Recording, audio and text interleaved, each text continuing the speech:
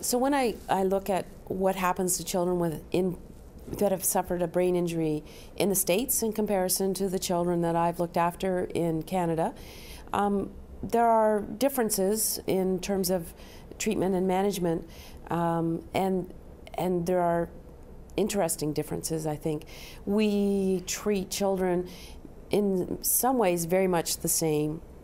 You know, we still have the same sort of trauma system. You want to get to the child, get them into the uh, trauma room, get them managed very quickly by people who are trained experts in managing the traumatic uh, injured child, and get them into the intensive care unit. I think that in Canada, we almost routinely use um, hypothermia and cool the child down to promote better brain uh, function um, because the studies have shown that. I think that it's just starting to come into the States a little bit more to do that. Um, but then the Americans have um, more sophisticated um, measurements of cerebral pressure, and so I think it sort of balances itself out in that regard. Um, and then the difference, the, one of the biggest differences, I think, is that we have universal health care. So it doesn't matter whether you were hit by a car or whether you know you developed a meningitis or whether you developed an encephalitis and it doesn't matter whether you can afford to pay for the hospital care and the rehab care because there's a basic minimal level of care so your entire hospital stay is covered so the families don't have to pay for that the um, rehab is covered uh, getting your wheelchair. I just have to prescribe a wheelchair and they get it. There's no fighting about that. If they need a piece of equipment, we prescribe it and they get it. Um, families are expected to pay 25% of the cost of the piece of equipment. Um, provided that they have the income to do so. And if they don't, then the government picks it up anyhow, so you can get around some of those issues. Um, that makes it a lot easier in Canada to um, to get the kind of equipment that the child needs. Um, in the states, it's if you have the money, it's faster to get into some of the therapies than it is in Canada because there are waiting lists to to get in. Um, so you may not immediately see your uh, rehab doctor uh, sort of the next day. It may take you a week or two before you get in uh, that may make a difference in terms of outcomes. I don't think it does particularly, but but you know it, it might. There's no studies that have done looking at that. Um, we have less inpatient rehab facilities in Canada in comparison to the states, and um, again, there's a philosophical difference uh, between whether having a lot of inpatient rehab is the way to go or not to go. Um, I happen to be a big fan and proponent of community based rehab. So I'm thinking it's more important to get that child or adolescent or a young adult back into their home, back into their community, and put the supports in there and teach the person how to regain and relearn their life where they're going to be living their life, so you only have to teach it once, then to have them come into an inpatient facility, having them teach it all there, then take them out into the community. And in the States, there's not a lot of community based rehab. So you get all this and then you get discharged to the States, and then often nothing more happens.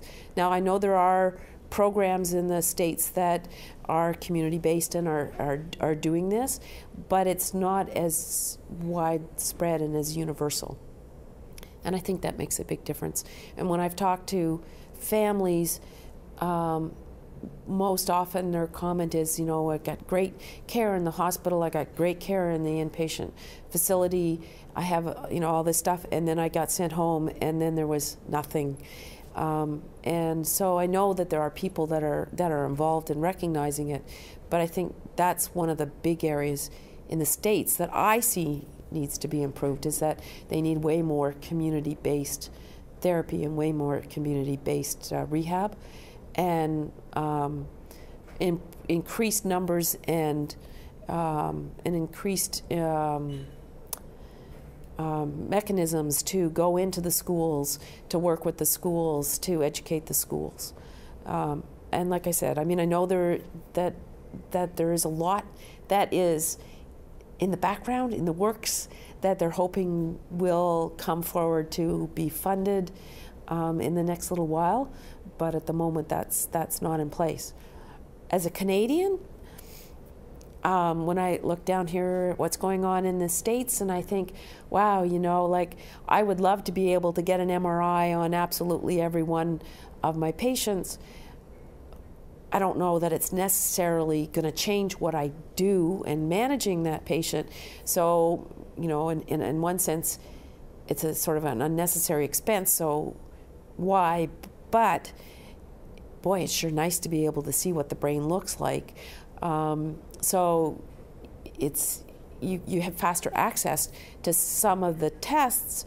I'm just not always sure that having faster access makes that much difference in terms of outcome.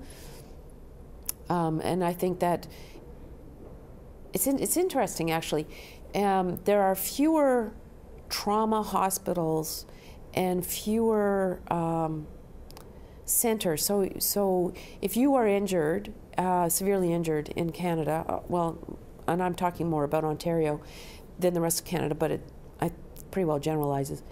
Um, you get picked up and flown to one of the trauma centers, but there's only so many trauma centers around, um, which has the advantage in one way that the the receiving hospital um, maintains its expertise because they see the volume to keep them on speed, um, and your and your um, and and you capture them all, so you can you can actually follow them because you got them all because they only go to so many hospitals. So you only have to check so many places in order to find them and make sure they're referred in for therapy and, and to do everything. Um, and I think that's more of a reflection of the fact that we're um, not nearly as big of a country. I mean, we're one tenth the population of the states, so we can't have everybody being an expert in everything. So we've had to rationalize how you can get that service. Um, it has the spin-off benefit of being able to do this. Whereas um, in the states, because you are so much bigger, you have all these facilities that have it, but they don't necessarily see the numbers, and that the coordination between them is perhaps not as as ideal as it should be. Partly, I think, because each hospital is fighting to get the funding, whereas we don't have to do the fighting as much. So it's it's a little bit different in that regard.